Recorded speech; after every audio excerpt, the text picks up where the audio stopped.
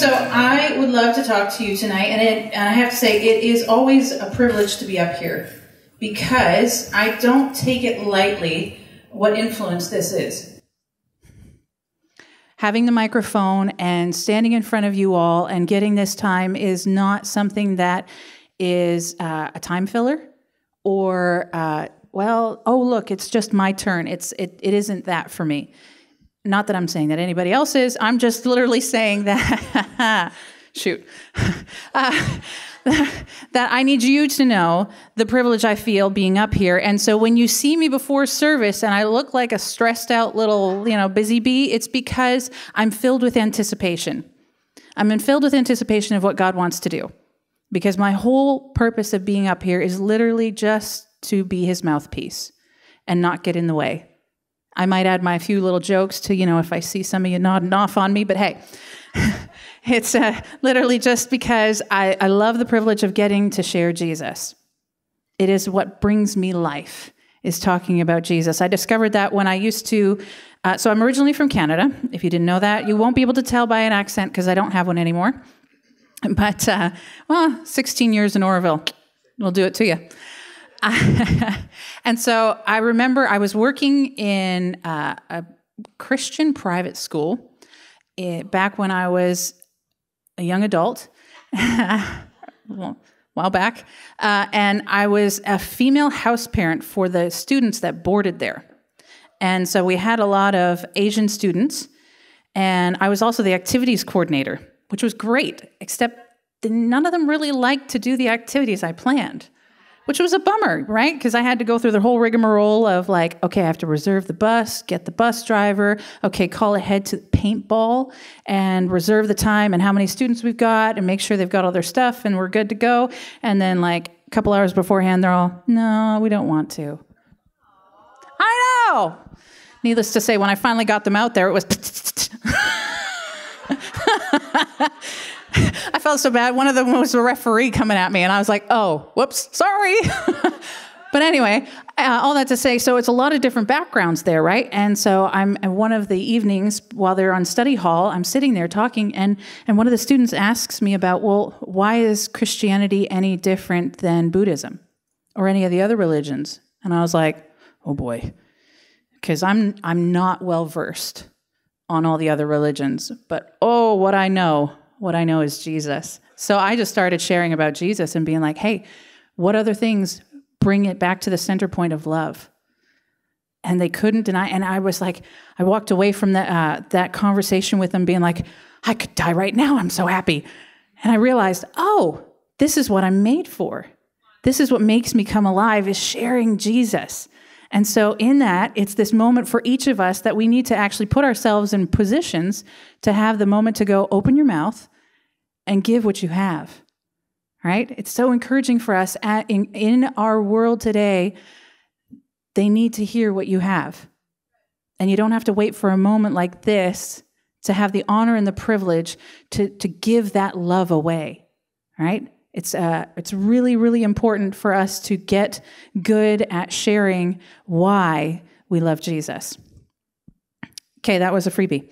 All right, so what I really want to talk about, maybe, maybe that was the Holy Spirit softening you up, because I want to talk about uh, truth and conviction.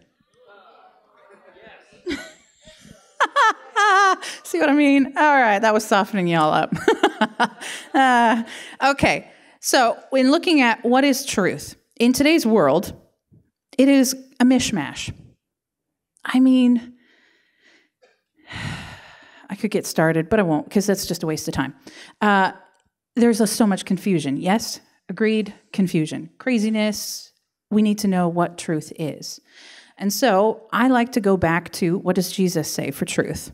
So, First John. Nope, nope. First point, John 1. Ha, yeah, I almost confused the poor guys back there. All right. John 1. In the beginning was the Word, and the Word was with God, and the Word was God. Now, this is important. In the beginning was the what? And the Word was with, right? God, sorry. and the Word was God. Okay. And he was in the beginning with God. All things came into being through him, and apart from him, nothing came into being that has come into being. In him is life, and the life was the light of men. So, this is where John starts his gospel in pointing out everything begins with God. Right? Now, he goes on to say then in verse 14, and the Word, now who's the Word again? Okay, the Word became flesh and dwelt among us. What always was and has always been came and dwelt among us. And we saw his glory, glory as of the only begotten from the Father, full of grace and truth. So, he is the Word, He is God. The Word became flesh and lived amongst us, and that Word, which is God, is full of grace and truth. Okay? Don't forget that. Okay. Verse 17 For the law was given through Moses, grace and truth were realized through Jesus Christ. So, John is setting up the identity of who is Jesus, the importance of Jesus. Correct? Would you agree with that? So, this truth, he is grace and he is truth, and it is the truth and the grace of who God is, is realized through the embodiment of him in the flesh through Jesus, who lived amongst us. Okay? So then he says of himself in John 14, verses 6 through 7, Jesus said to him, I am the way and the truth and the life. No one comes to the Father but through me. If you had known me, you would have known my Father also. From now on, you know him and have seen him. Because remember what John said earlier? Truth was, right? He is the Word. The Word was with God. The Word is God. The Word became flesh, dwelt among us, and is full of grace and truth. We see Jesus, we see the Father. Correct? And he says about himself, I am the way and the truth and the life. The things that we look for in this world are what? Direction, purpose, right? And reason for being. Yeah? right with every so by what he's defining to them is everything you could potentially ever look for is in me jesus right? So when we find this world it gets a little confusing and a little crazy it's because they've forgotten jesus. They've pushed out jesus. And so when we find ourselves getting a little confused and a little upside down on things and wondering what yeah what what is the truth about this matter? Because this person makes a really great point. But then I read this thing on the internet and it's got to be true. So that makes a great point, even though it doesn't list who actually said it. and then this person makes a different point, and we get all twisted up, right? And so we must remember that truth is Jesus. And if truth is Jesus, then our answer is in Jesus. So he tells us then, so in verse 7, 16 of chapter 14, Jesus is telling them, if uh, before that, he says, If you love me, you will keep my commandments, and I will ask the Father, and he will give you another helper, that he may be with you forever. That is the Spirit of truth. Well done. Whom the world cannot receive because it does not see him or know him, but you know him because he abides with you and will be in you. So now it went from where Jesus, so God, since creation, right? Now has come in the flesh and walked amongst. And Jesus is telling them, I'm about to leave, but don't you worry. I'm not leaving you as an orphan. And what I'm going to give you is now the spirit of truth, because that is his spirit.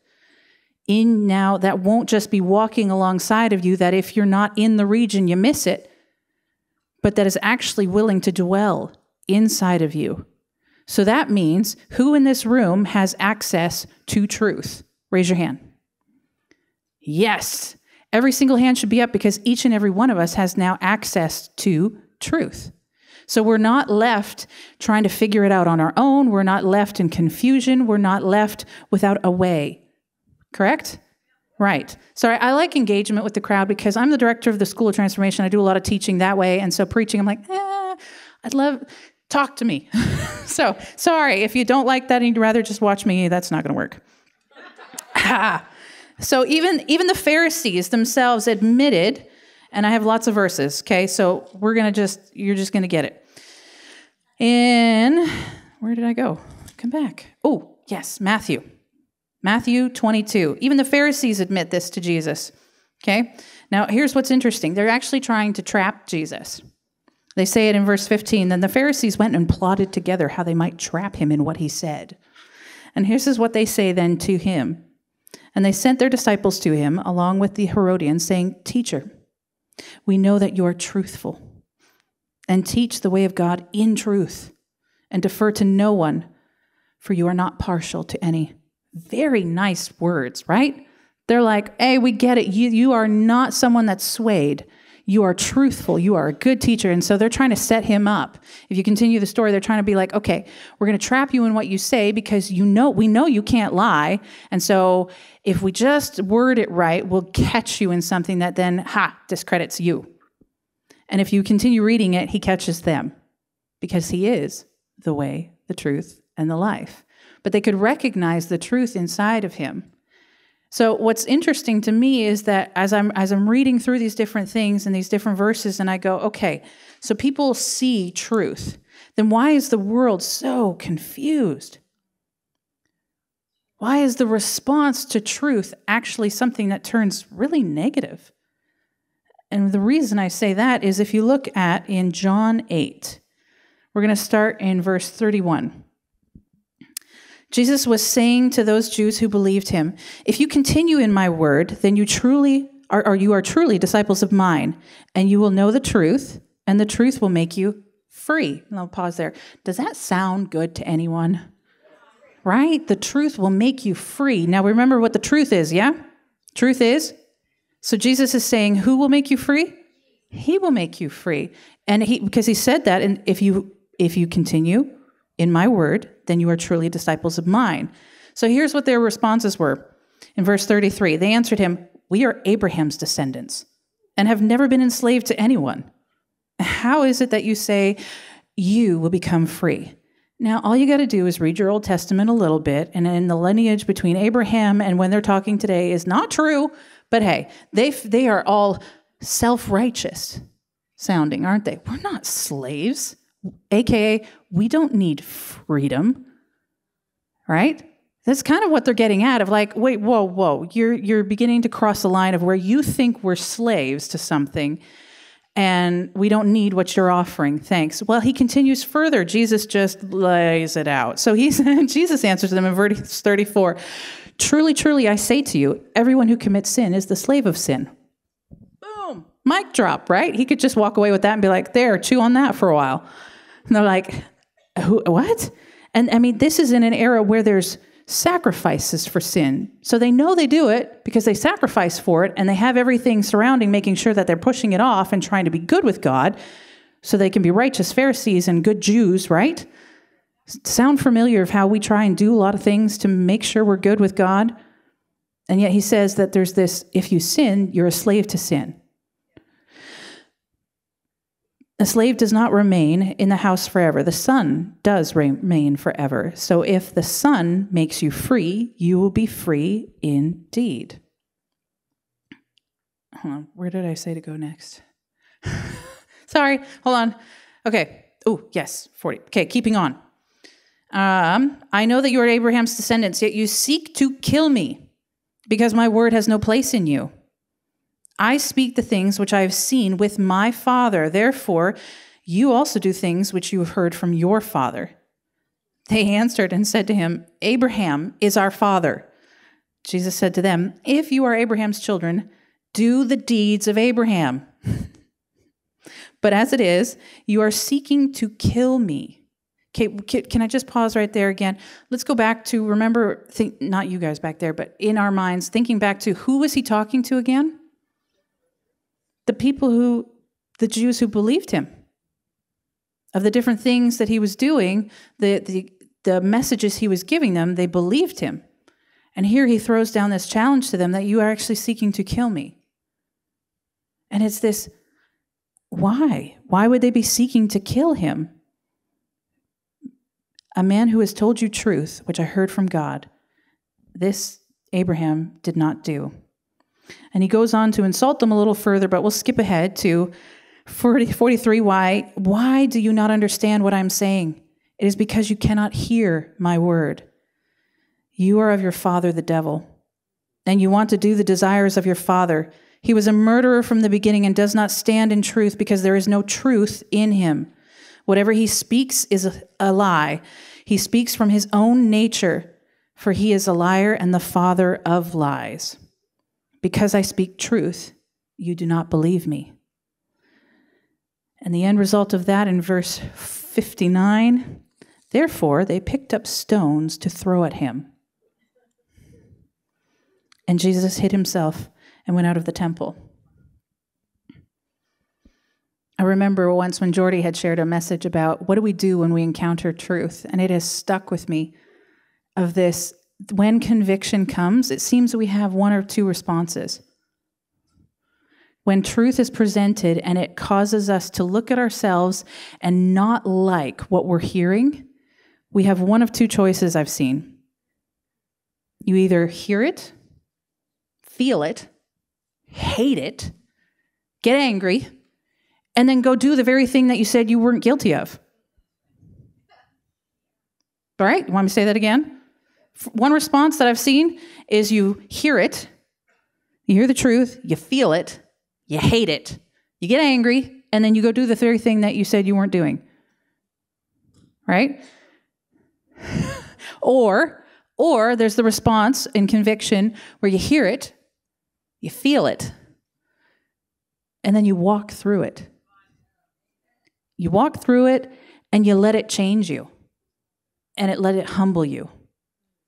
This is what conviction of truth does. When truth is presented, we either pick one side or the other. And so, what I felt like God was pointing out is this when He is the truth and He is the way and the life, and this is what we profess to be after, we can kind of get stuck, like some of these believers, in kind of getting settled into what we think was passable.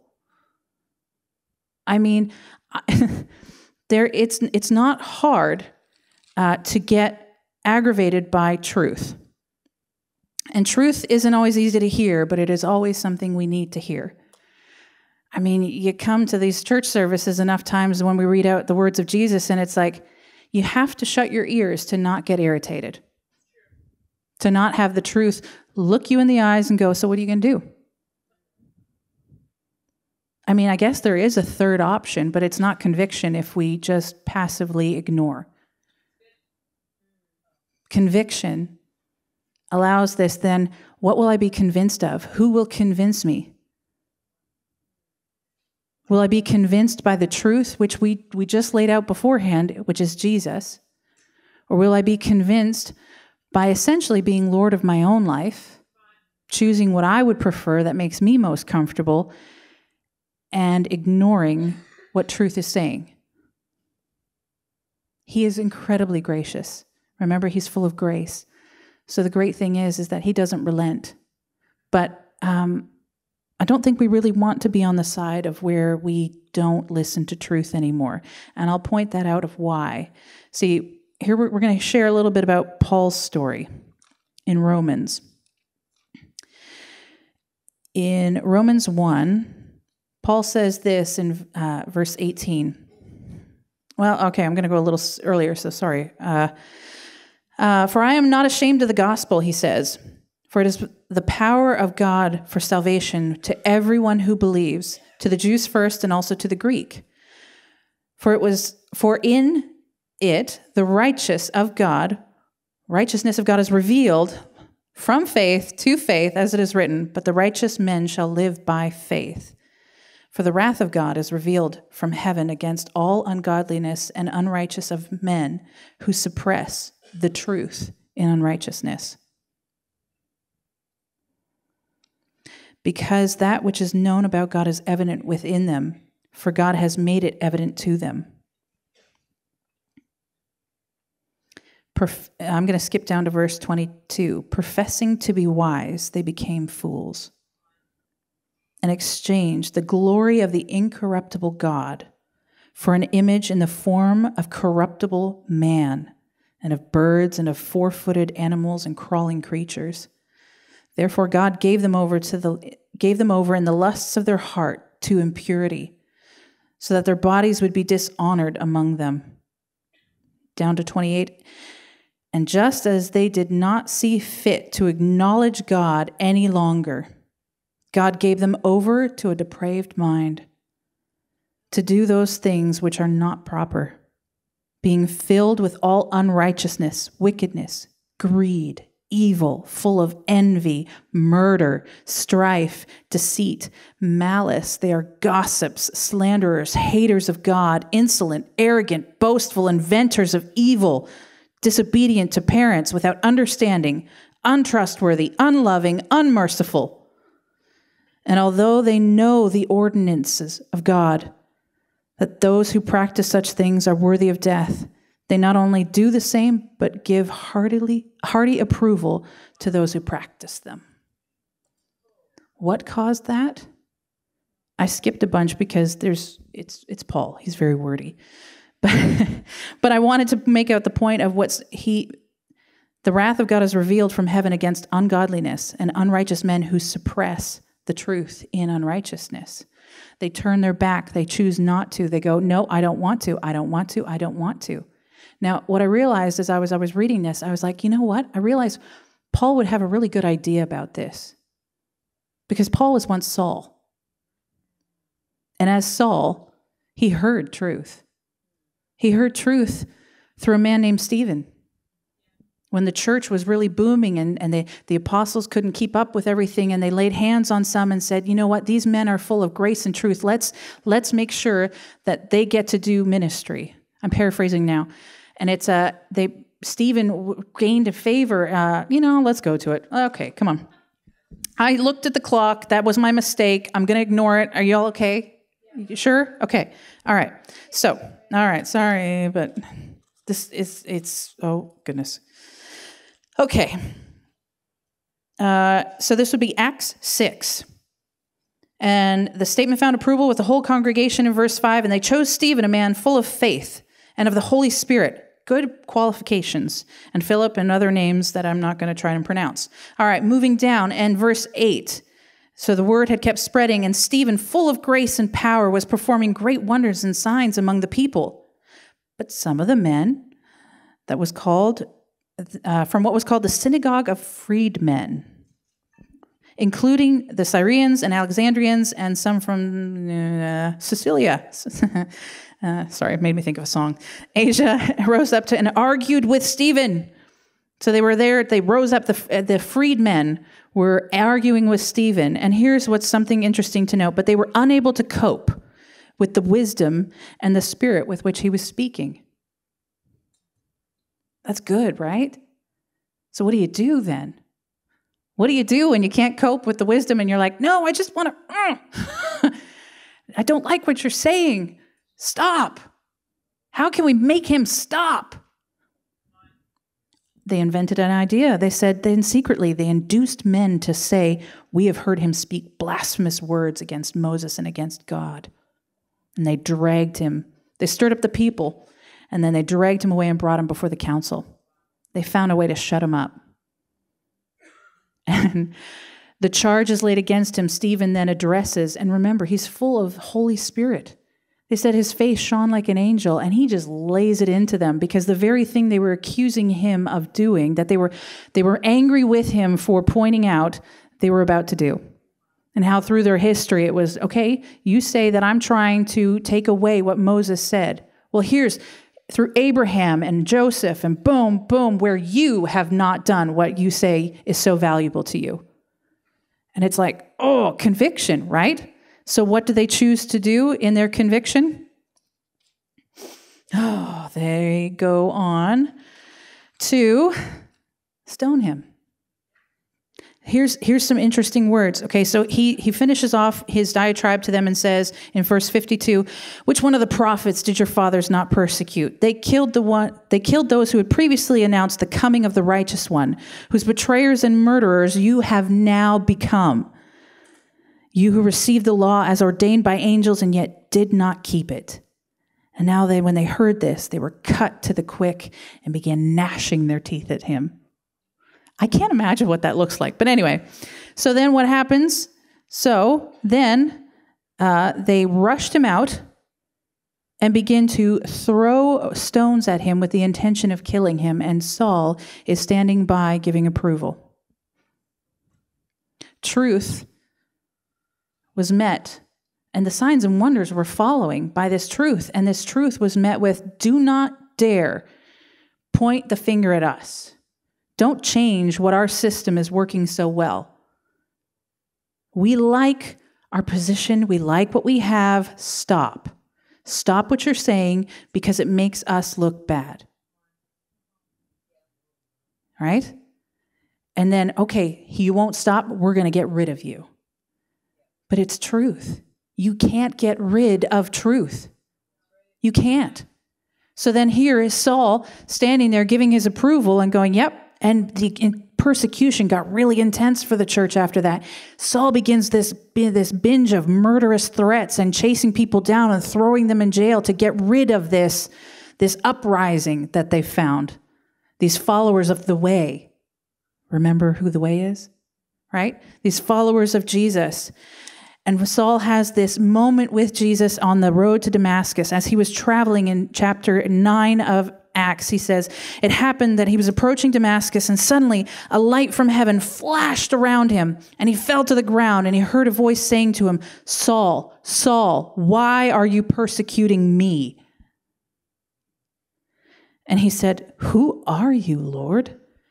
And he said, I am Jesus, whom you are persecuting. But get up and enter the city, and it will be told to you what you must do. The men traveling with him stood speechless, hearing of the voice, but seeing no one. Saul got up from the ground, and though his eyes were open, he could see nothing. And leading him by the hand, they brought him into Damascus. And he was three days without sight, and neither ate nor drank. And I got thinking about that. Can you imagine no longer being able to see? What will distract you? What will entertain you? What will take your mind off of the words that are reverberating in your brain? Why are you persecuting me? I can imagine. See, he doesn't know that he's going to be healed in three days. He's just now with a consequence for his refusal of truth, action against truth, right? And now he's blind, and, and I can imagine all the images in his head because that's all you've got to look at. You remember all the things that you've done. And that plays over in his brain over and over again, night and day. And it's, Saul knows when he was talking about in Romans of these people that refuse truth and what happens as their hearts get hardened, he's experienced that side of it. He's been the enemy of God in the persecution of Jesus, in the persecution of truth. A believer. And it's the challenge that I, I, keep going back to is this okay, when does truth stop? When has truth had enough of its way with us? Because he is gracious, right? He is full of grace and truth. Saul went on, he says, uh, so the Lord said to um, Ananias to go and pray for him, which, I mean, that would freak me out too if I was him. But uh, he, the Lord said to him, um, where is it? Uh, he's heard about him. Oh, here, verse 15. But the Lord said to him, Go, for he is a chosen instrument of mine to bear my name before the Gentiles and the kings and the sons of Israel, for I will show him how much he must suffer for my name's sake. What was once a trophy in the enemy's hand, as Saul became a trophy in the Lord's hand. Paul, the Gospels of which we know a lot of, and the conviction he has of no, no, seek truth first. that everything he said he knew and, and used as a badge of honor, he used, he began to think of as nothing because it was just Jesus, just the truth. And so when we hear messages that cause conviction inside of us, see, there's a difference between conviction and condemnation. Condemnation makes it like you have no hope. You're done, too late, too bad, so sad. And yet, here is Saul, who really should have been too late, too bad, so sad. And yet, no, he's my chosen instrument. The Lord has a plan, but He's looking for those who are willing to respond to truth, to Himself, and allow truth to change them, humble them. Yeah, it doesn't always feel nice, but the reason He does it is because the things that you held on to as truth were not real. Wouldn't you rather know what's real than what's not? Wouldn't you rather be led in the way rather than lost in your own? Right? And this is what he offers us. And so this world is spouting a lot of mistruths, a lot of things intended to confuse and draw you away from Jesus. Stand on guard, my friends. Know the truth, and the truth will set you free. You find the truth in the words of Jesus. You find the truth in those who live a life that is, is dedicated to Him, and you can see it in how they respond. Stephen was full of truth. You could see it in the, how he, he carried himself, and he was full of the Holy Spirit, which was the Spirit of truth. If truth is everything and it's not swayed based off of what opinion is, let's do that. And if it makes you uncomfortable, know that growth is coming, that it's going to be okay if you continue to walk forward, because He doesn't leave you as an orphan, He will walk through it with you. He will lead you in the way, and He will bring you out the other side so that you can rightly know His heart. You can rightly see the way He sees. And those, that, that disgusting list I read in, in Romans, it will have no part of you. No part of you. So if there's things that God has in, in the messages or in your quiet time with the Lord that He's been hey, do we really need to continue with this? And you want to go, no, no, no, that's just me. Would you be willing to just bring it back up to Him and go, Lord, is this you? Is this you? If this is you, then I want to stick with truth. And I don't really understand what to do, but you will lead me because I want to trust in you more than myself. Yeah? I want to trust in Him more than this failing world around me because it will pass away, but He remains because He has always been and always will be. Thank you for watching the Father's House Oroville YouTube channel. But don't stop there. Please subscribe to our channel and help us spread the message of Jesus to all your friends and family by sharing our videos. You can also help support us financially by clicking the Give button. Thank you so much for watching. We hope to see you again soon.